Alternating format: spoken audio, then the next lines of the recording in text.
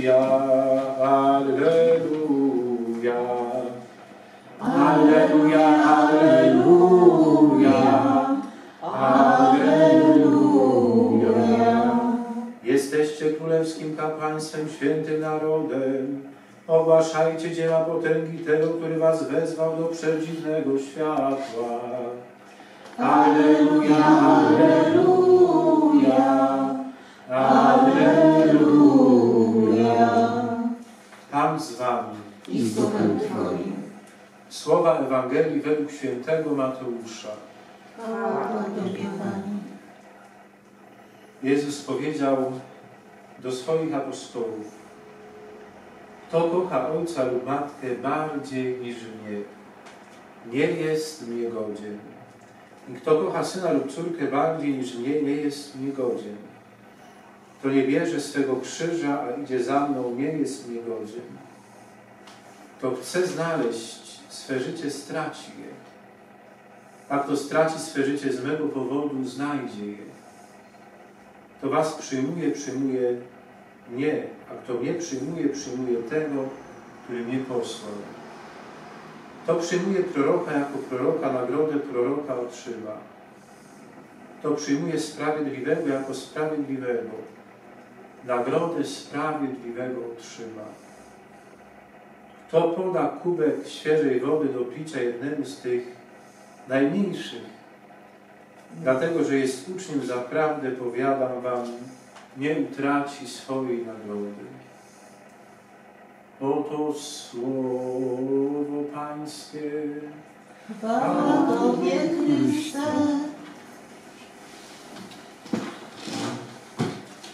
Miłowani w Chrystusie Panu, drodzy bracia i siostry,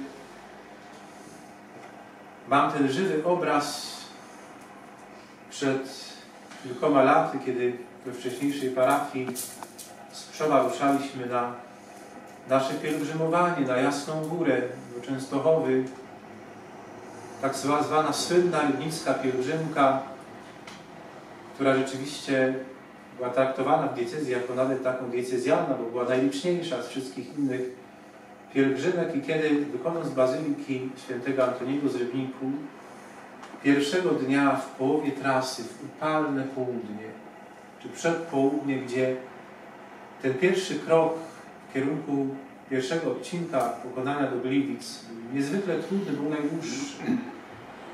Kiedy w upalne południe mieszkańcy Książenic stawali przed swoim własnym ogrodzeniem i dla pielgrzymów z głębi serca przygotowywali niezwykle wspaniałe zimne napoje, które ożywiały y, nie tylko nasze ciała, ale także wraz z nimi także nasze dusze. Dzisiaj Pan Jezus mówi, kto poda kubek świeżej wody jednemu z tych najmniejszych, zaprawdę powiadam Wam, nie utraci swojej nagrody. Kochani moi, przed kilkoma laty, również tu w parafii, Wam nawet o tym opowiadałem, był przed Światowymi Dniami Młodzieży, dwie kobiety, jedna oczywiście młodsza, druga w średnim wieku, 60 iluś lat, zapukały na drzwi probostwa. Proszę księdza, jesteśmy ze wspólnoty y, nauk katechumenalnej z Warszawy. Przyjechaliśmy, w zasadzie nie mamy ze sobą nic. Takie, taką akcję ewangelizacyjną robimy, że nas wysłano bez komórki, bez grosza, bilety nam jakieś tam zakupiono i chcemy doświadczyć y, tego, że Pan daje nam wszystko. Oczywiście najpierw pierwszą noc przespaliśmy w ogrodzie, bo nas hospicjum. Było to doświadczenie, nie w ogrodzie tylko właśnie w tym parku naszym, który tu jest, za tak opowiadali, że przez pierwszą noc gdzieś tam przespaliśmy na ławce.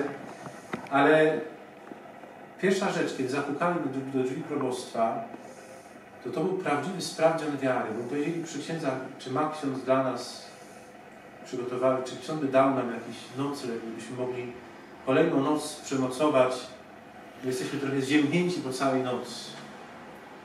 I wtedy pamiętam, kiedy zaproponowałem im ten nocleg właśnie w domu katechetycznym, pomyślałem sobie, widząc ich uśmiechnięte twarze, rozradowane, twarze, które oczekiwały wszystkiego od Pana Boga, bezgranicznie wszystkiego. Ta niezwykle silna ufność, że Pan ich nie zostawi bez niczego.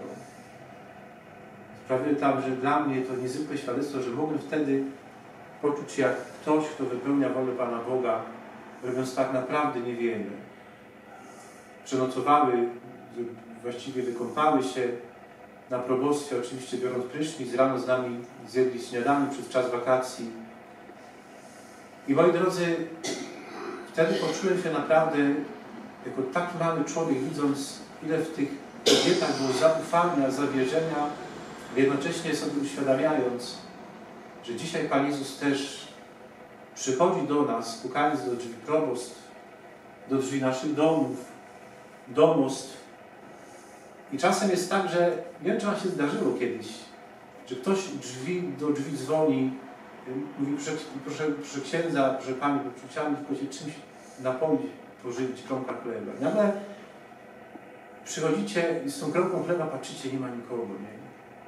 Wtedy sobie czy pomyślicie w jednym momencie, że być może to był Pan Jezus, który właśnie przyszedł być może także sprawdzić naszą wiarę, naszą y, miłość, która jest w naszym ludzkim sercu. Moi drodzy, Pan Jezus również dzisiaj przychodzi do nas w tych najmniejszych, najbardziej ubogich braciach i siostrach, którzy potrzebują naszej pomocy, naszej miłości, naszego szacunku, potrzebują przede wszystkim okazywania im ludzkiego serca.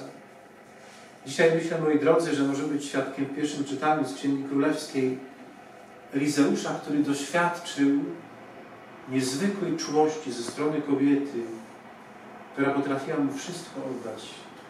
Nawet przyrządziła dla niego pokój, przyrządziła dla niego mieszkanie. Dzięki temu, że przyjęła wysłannika Pana Boga, to jej życie stało się prawdziwym błogosławieństwem. Jej życie stało się prawdziwym momentem przemiany także jej domu i jej życia. Kochani moi, dzisiaj Pan Jezus chce, żebyśmy właśnie postawili Pana Boga pośród naszego życia. Ten Pan Bóg jest obecny czasem bezpośrednio przychodzi. Czasem posyła, jest obecny w postawie bliźniego i kogoś, kto jest właśnie, potrzebuje naszej pomocy. Pozwólcie na jeszcze jeden przykład z życia rodzinnego małżonków, którzy przez bardzo, bardzo wiele lat nie mogli mieć swoich własnych dzieci. Oczywiście po wielu próbach, po wielu wizytach u lekarzy, po wielu staraniach się zdecydowali się za, zaadoptować trójkę dzieci. Po zaadoptowaniu tych trójki dzieci okazało się, że w ich życiu pojawiła się wspaniała, cudowna dziewczynka, która była ich naturalnym dzieckiem. Moglibyśmy domniemywać, czasem tak w wielu rodzinach jest, że ktoś po narodzeniu własnego dziecka oddaje to adoptowane, czy rezygnuje z nich. Nie, oni zaakceptowali, przyjęli całą rodzinę, to życie z świadomością, że przyjmują do swojego życia rodzinnego Pana Boga, zaowocowało ich pięknym, cudownym małżeństwem i darem rodzicielstwa. Jak człowiek jest obfity wobec Pana Boga, nie jest, nie stawia granic Panu Bogu, to Pan Bóg jest w stanie przemieniać nasze ludzkie życie i być źródłem łaski, błogosławieństwa w życiu każdego z nas. Amen.